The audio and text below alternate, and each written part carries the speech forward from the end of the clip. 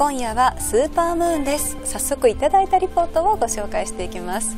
さあこちら沖縄県からいただいたものなんですけれども沖縄よく晴れておりますので綺麗なスーパームーンの様子を送っていただきました。飛行機のシルエットとコラボレーションしていてひときわ輝いて映っておりますね。さあ今日の満月の特徴なんですけれどもこういったポイントがあります。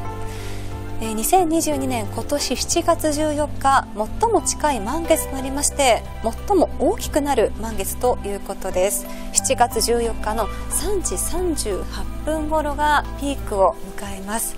ぜひ夜空を眺めてみてはいかがでしょうか。お天気アプリウェザーニュースからも最新情報をお送りしております。ぜひ眺めてみてください。